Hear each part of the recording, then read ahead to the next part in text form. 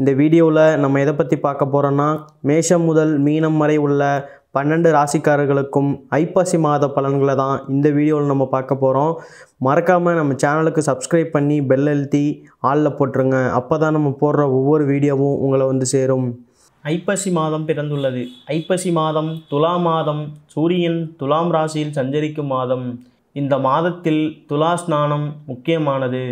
தமிழ் மாதத்தில் ஐப்பசி மாதம் ஏழாவது மாதம். இந்த மாதத்தில் பல பண்டிகைகள் கொண்டாடப்படுகின்றன.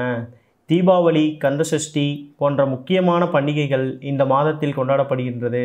இந்த ஐப்பசி மாத கிரகங்களின் பெயர்ச்சியை பார்த்தால் ஐப்பசி ஆறு அக்டோபர் இருபத்தி மூணு அன்று செவ்வாய் பகவான் கன்னிராசியில் இருந்து துலாம் ராசிக்கு இடப்பெயர்ச்சியாகிறார். ஐப்பசி பதிமூணு அக்டோபர் முப்பதாம் தேதி புதன் பகவான் கன்னிராசியிலிருந்து துலாம் ராசிக்கு செல்கிறார்.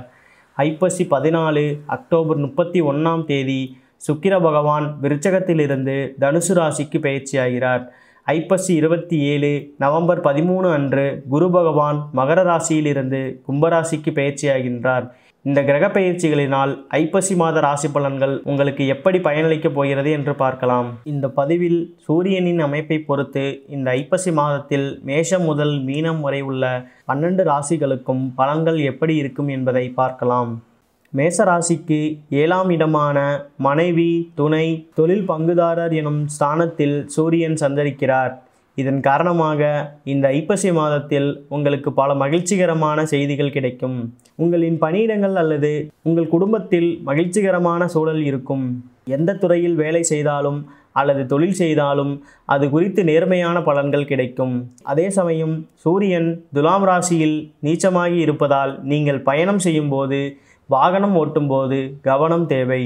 ஆரோக்கியத்தில் கவனம் தேவை. காலையில் எழுந்து சூரிய நமஸ்காரம் போன்ற உடற்பயிற்சி செய்வது அவசியம். உறவினர்கள் நண்பர்கள் வருகையால் மகிழ்ச்சி அதிகரிக்கும். சிலர் சமூகம் சார்ந்த விஷயங்களில் ஈடுபடுவீர்கள். உதவி செய்வீர்கள். திருமண வாழ்க்கையில் புரிதல் அதிகரிக்கும். குடும்பத்தில் உங்களின் துணை மூலம் நல்ல ஆதரவு இருக்கும். தொழிலில் உங்களின் பங்குதாரர் தொழிலாளிகள் ஆதரவாக இருப்பார்கள்.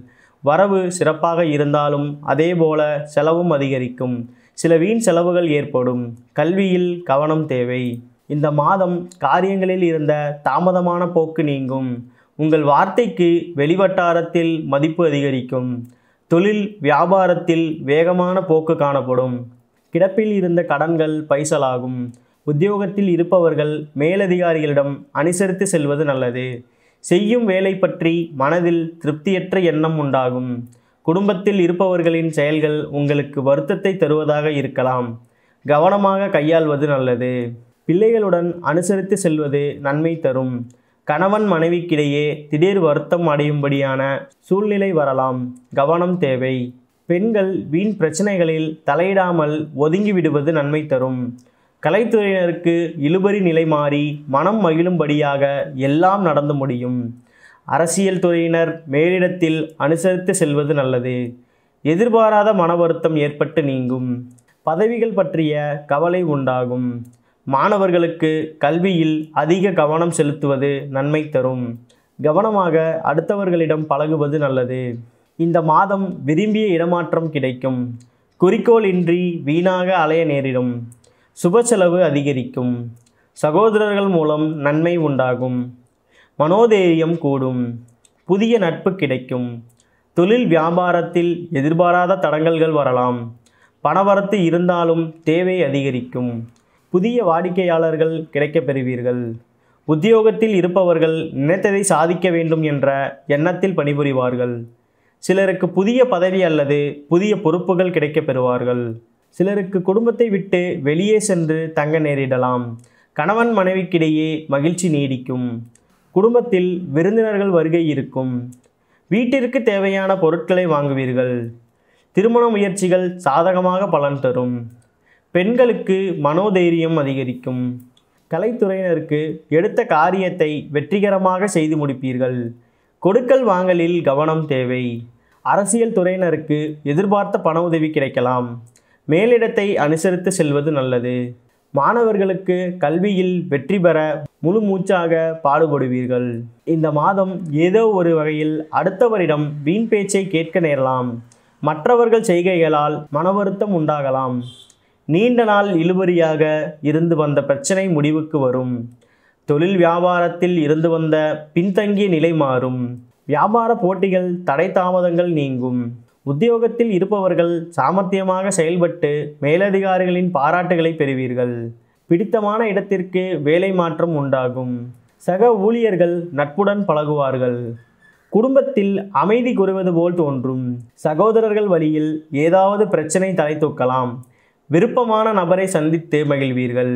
கணவன் மனைவிக்கிடையில் அன்பு அதிகரிக்கும். பெண்களுக்கு வீண் பேச்சுகளை குறைத்து செயலில் கவனம் செலுத்துவது நல்லது.